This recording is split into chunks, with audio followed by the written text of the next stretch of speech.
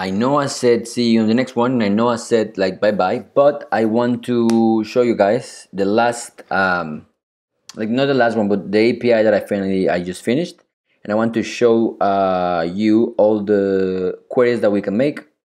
So we have movies, we have movie, and we have suggestions. All right.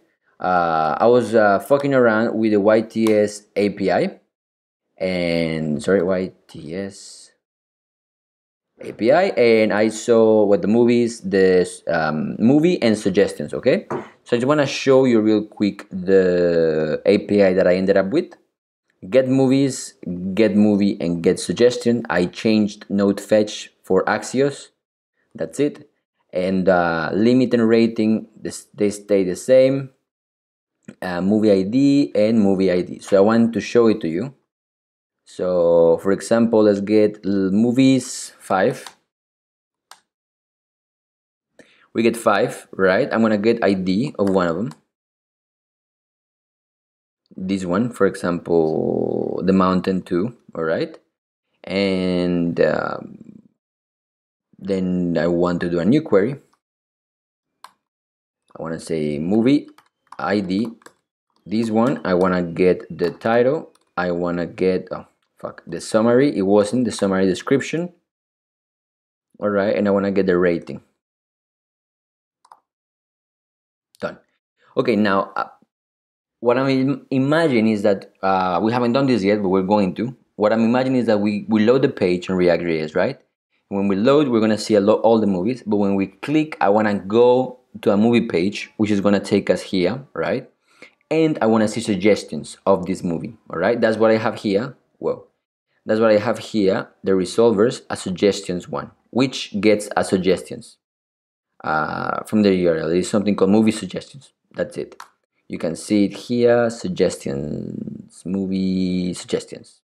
All right, I just get the movie ID and we start and we get it. So I know I told you about underfetching, overfetching. I want to explain, I want to show it to you. Suggestions, ID. This is like thinking of the screens I want to make, all right? I want to get the photo, medium cover image, and the rating, for example, right? And what this is going to do, as you can see here, I'm putting two queries into one, which is cool. Uh, I have two queries, movie and suggestions, but I can put them into one, all right? Because this is, this is what I need to paint my screen. So again, like I told you, I want to go in, I want to see all the movies, all right? I want to limit them and um, that'll be it. And then I want to click on one and I want to go to suggestions. I want to go to the movie and then show the, show the suggestions. Uh, this is awesome. If uh, we wanted to make a screen like that, we need to have two methods, get movie ID and then get suggestions, right? If this was a REST API. Just like what I did here, I do here, look.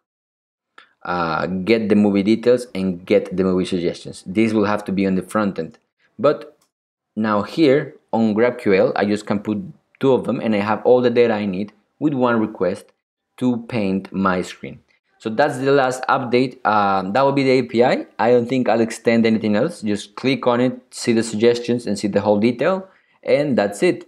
Um, I don't know yet if I should upload this to a server and then you can use it from there or if I should or if you should clone it and then you start it I don't know yet. I'll have to figure that out. But I will see you on the front end part of this GraphQL series. See you. Bye bye.